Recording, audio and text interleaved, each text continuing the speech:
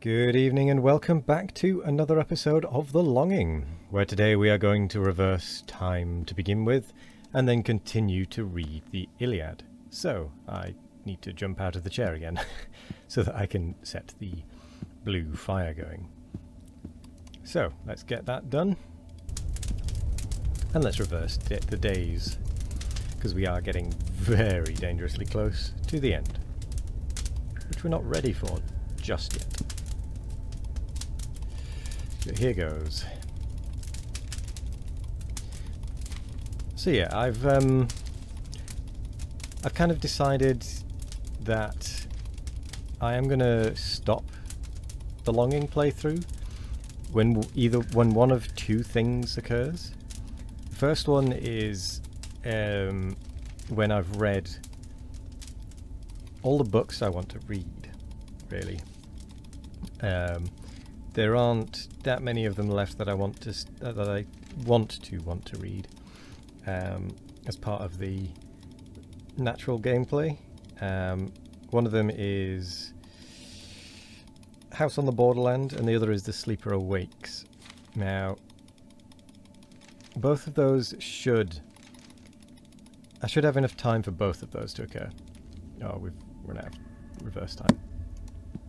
Um, for for the, both of those to be read rather because they're short enough that I should be able to do it. The other th the other option that I want to be um, the, so the other trigger for finishing the longing is going to be um, I'm not going to go past day 1000.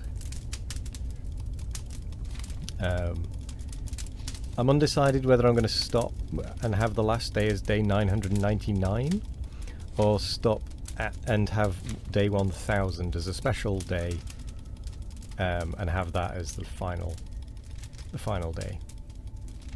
And I've not yet decided what I'm going to do or if or if I'm going to do anything particularly special for the final episode of it. So we do finally have a plan for when we're going to end this. I, I know I was probably supposed should have ended this 440 days ago or something. Um, but I did kind of get get dragged into reading, which I quite enjoyed. So yeah, I at least now have two things, two prerequisites. Prerequisites? No, not that's not the right words. Uh, two conditions. Oops, I think I picked picked up yeah, I have two conditions for ending the run. Which is, it's good to finally have that set in stone.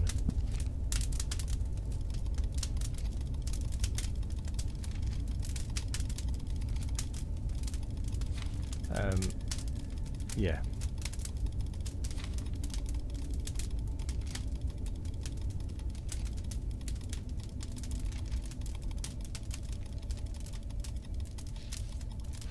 It is good to have that set in stone.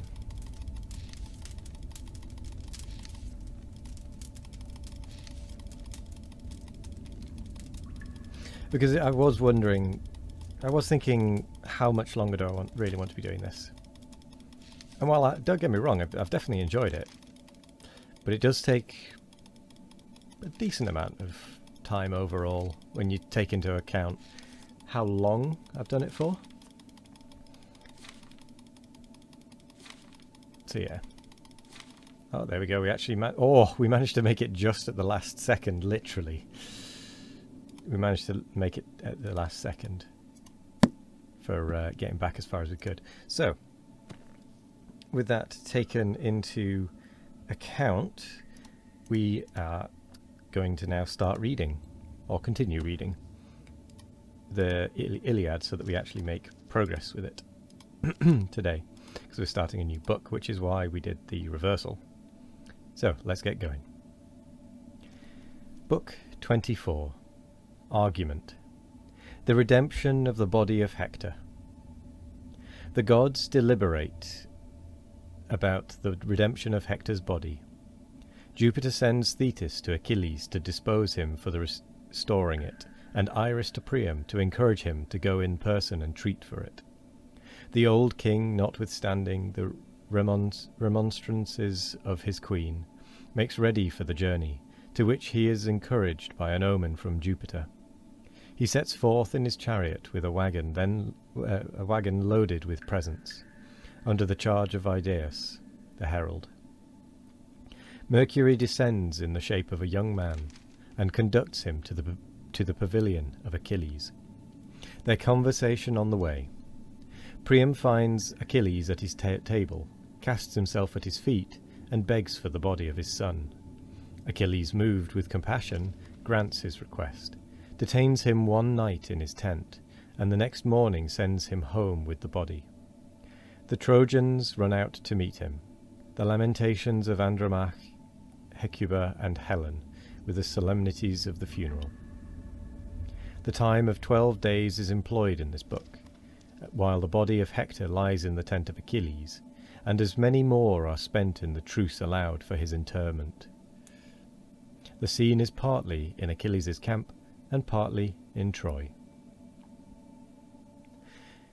Now from the finished games the Grecian band seek their black ships and clear the crowded strand. All stretched at ease the genial banquet share, and pleasing slumbers quiet all their care. Not so Achilles, he to grief resigned, his friend's dear image present to his mind, takes his sad couch more unobserved to weep, nor tastes the gifts of all composing sleep. Restless he rolled around his weary bed, and all his soul on his Patroclus fed.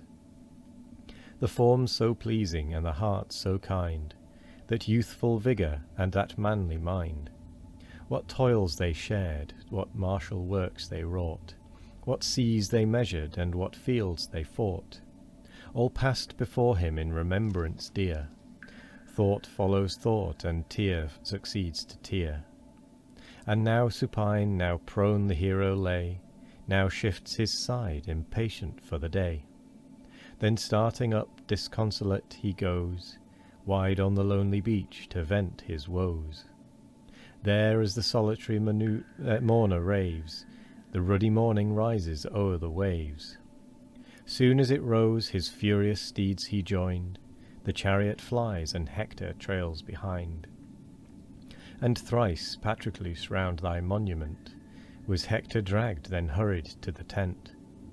There sleep at last o'ercomes the hero's eyes, while foul in dust the unhonoured carcass lies, but not deserted by the pitying skies, for Phoebus watched it with superior care, preserved from gaping wounds and tainting air. And ignominious as it swept the field, spread o'er the sacred corse his golden shield. All heaven was moved, and Hermes willed to go, by stealth to snatch him from the insulting foe. But Neptune this and Pallas this denies, and the unrelenting Empress of the skies.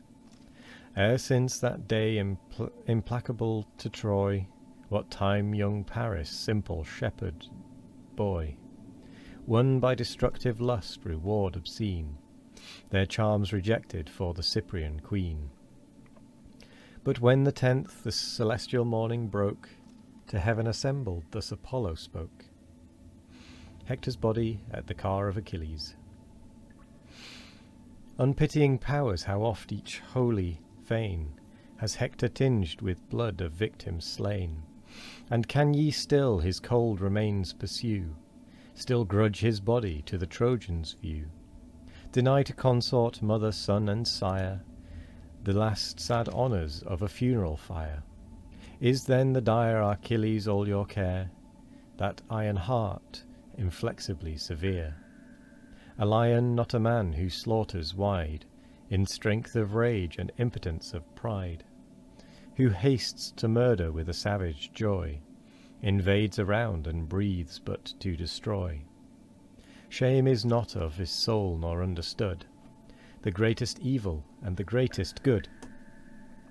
Still for one loss he rages unresigned, repugnant to the lot of all mankind to lose a friend, a brother, or a son. Heaven dooms each mortal, and its will is done. A while they sorrow, then dismiss their care. Fate gives the wound, and man is born to bear. But this insatiate the commission given, by fate exceeds and tempts the wrath of heaven. Lo, how his rage dishonest drags along Hector's dead earth, insensible of wrong. Brave though he be, yet by no reason awed, he violates the laws of man and God. And with that, we come to the end of the episode. So, I will say thank you very much for joining me today. We finally managed to reverse time. But yes, thank you very much. Um, I hope you all have a wonderful morning, evening, afternoon, or night. No matter what time of day it is, I hope you all have a wonderful one of it. And as always, we will be back tomorrow for more of The Longing. Goodbye.